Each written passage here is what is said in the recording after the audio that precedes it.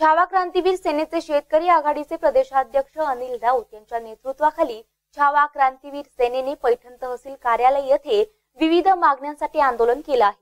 शेतातील कृषी पंपाचा वीज पुरवठा पूर्ववत करण्यात यावा शेतकऱ्यांना रोजगार उपलब्ध करून द्यावा पैठण तालुक्यात सर्वात जास्त ऊस लागवड असल्याने तोडणीसाठी शेतकऱ्यांची होणारी पिळवणूक थांबवावी.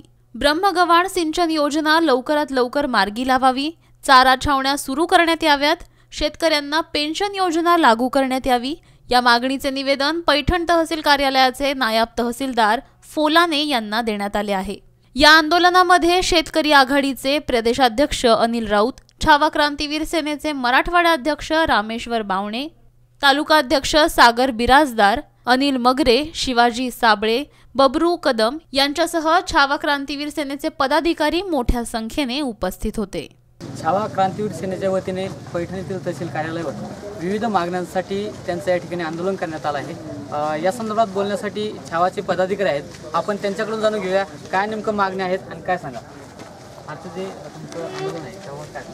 आमचा जो आठ तासाचा वीज पुरवठा आहे तो चार तास केलेला आहे. त्या त्या हिशोबाने आमच्यावर एक प्रकारे अन्यायच केलेला आहे हा.